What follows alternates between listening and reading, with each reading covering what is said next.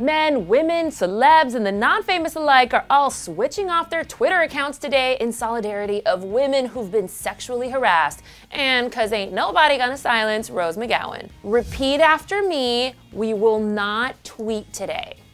As you know, Hollywood is crawling with douchebags. Harvey Weinstein, sorry, something's in my throat. Actually, every industry in the world has cases of sexual harassment. Shoot, look at the White House.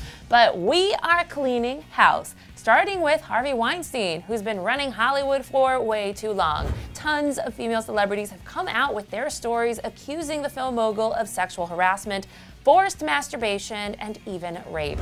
Effing disgusting but not surprising. I've got my own horrible stories to share, which I will be tweeting about with name drops but tomorrow, not today because I'm not tweeting today.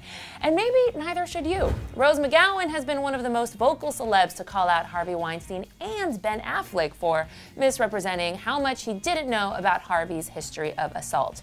In the past, Rose had admitted to being raped by a powerful film titan, but she has finally named him Harvey Weinstein. And to our shock, her Twitter account was suddenly suspended. Allegedly, she broke their terms of contract by tweeting out someone's phone number, but what it really looked like was that a rape survivor was silenced for calling out a powerful mogul. In fact, she Instagrammed this pic of her suspended Twitter account with the caption, Twitter has suspended me. There are powerful forces at work. Be my voice.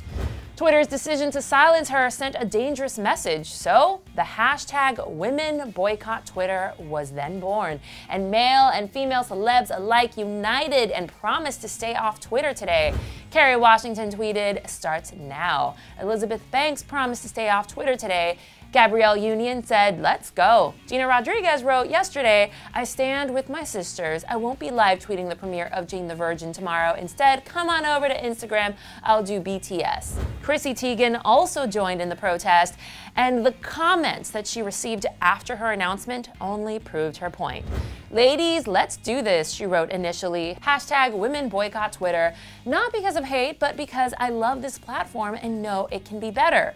According to screenshots she posted, her mentions were instantly filled with remarks like, Are you a fan of a good butt spanking? I, bitch, leave, and it's alright, Twitter is a better place without you easily offended feminist bitches. So Chrissy screenshotted them and reposted them with the text, my mentions since posting hashtag women boycott Twitter three minutes ago. Hashtag this is why. And for those of you thinking that, well, Twitter is just following their protocol for threatening tweets, we must note the disconnect in Twitter's policy. White supremacists and neo Nazis are able to maintain their accounts, but McGowan tweeting a phone number is grounds for suspension. Someone tweeted this side by side pic. They wrote, one of these people is a white supremacist. The other is an actress who spoke out on sexual harassment.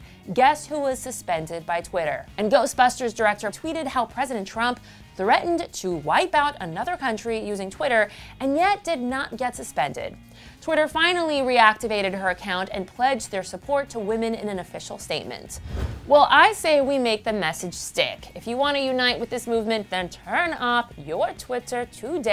I did it. Turn off all those notifications. Voice your opinions on Instagram instead. This will affect how much money Twitter makes today. So let me know where you stand on this issue. Follow me on Twitter tomorrow, not today, and hit me up on Instagram at Miriam underscore Issa. To really get that blood boiling, click over here for Cara Delevingne and a slew of more actresses sharing their horrible stories of allegedly being abused by Harvey Weinstein. I'm Miriam Issa, and thanks for watching Clevver.